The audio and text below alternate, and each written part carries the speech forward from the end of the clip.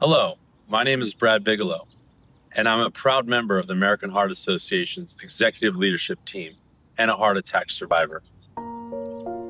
I was a, a newly married um, executive for a startup company, and we were in the process of mergers and acquisitions. So was very much high pace, high stress environment. It was all right during COVID. We were looking forward to starting a family and just really kind of taking our life to the next level and and doing the best we could to enjoy a very weird scenario during the pandemic. So um, I would say everyone was kind of going through a weird time. I would probably say, unfortunately, I was a little bit defined by my job, like most people are. Um, but as an entrepreneur, you know, there's a lot of creativity and excitement in building companies. I would say I was a pretty active person. So the Pacific Coast fires happened. I went to a wedding, um, and it was an outdoor wedding, which is also during the fires. So I was outside for two and a half days, essentially working on the house and at the wedding. So I had chest pains, shortness of breath, all the typical things that you have when you're having a heart attack.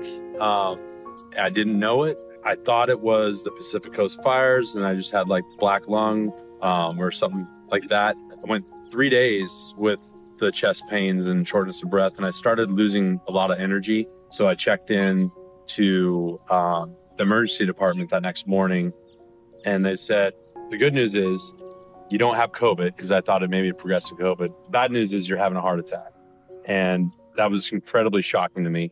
I was 43. I was more concerned about my wife and freaking her out. I called her from the back of the ambulance. She couldn't hear the sirens. I just said, "Hey, just meet me down there, uh, and I'll be there in like 20 minutes." So didn't want to freak her out because that'd be a hard thing to hear. I texted a client and just said, "Hey, I know we're supposed to be in a meeting in five minutes, but I'm in the back of an ambulance."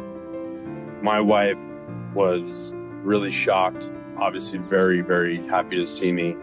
And, you know, my family was in the car from Bend on the way over, and they were all very supportive, all very shocked. Everyone was very shocked.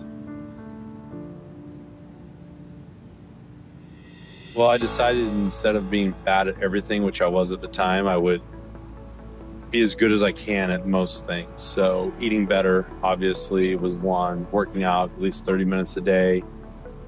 I wish I could say I do that consistently every day, but I do as good a job as possible. Uh, stress management, I think, is a big one for not just myself, but a lot of people in my shoes who are balancing career and, and family and life changes and, um, you know, trying to keep that hypertension down I had nowhere to turn to that made sense to me.